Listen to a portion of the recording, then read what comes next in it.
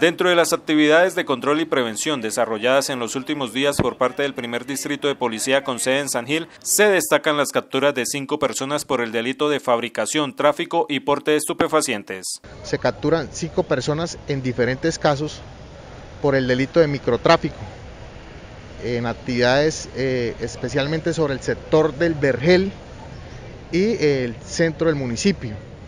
De igual forma se realizaron 16 aplicaciones al código y la incautación de 16 armas cortopunzantes.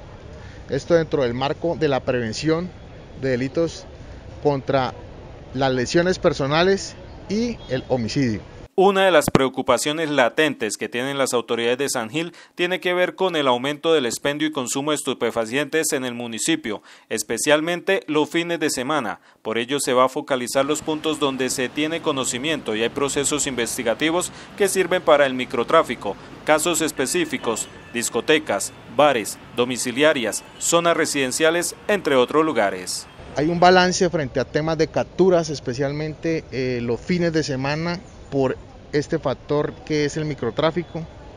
Eh, dentro de eso pues ya llevamos un promedio de aproximadamente más de 20 capturas y como usted lo dice, eh, la tendencia es especialmente los fines de semana.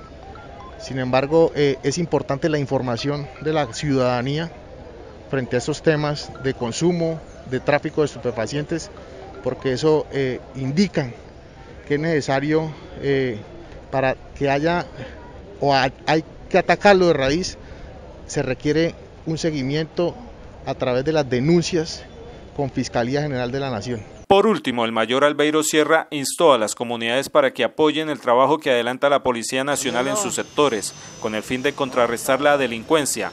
Por ello es importante la información oportuna de situaciones sospechosas, pero sobre todo las denuncias de las personas que han sido víctimas de los delincuentes.